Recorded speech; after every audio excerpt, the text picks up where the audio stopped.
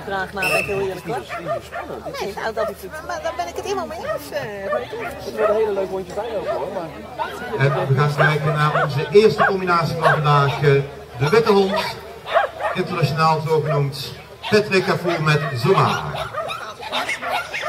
Zuma gaat met prepensioen na 8,5 jaar zeer verdienstelijk agility te hebben gedaan.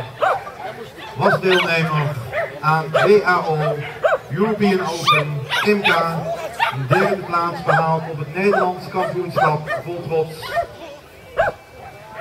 En zoals Patrick zelf zegt, gaat Zuma nu met prepensioen. De winterclub wordt nog gelopen op 22 november aanstaande.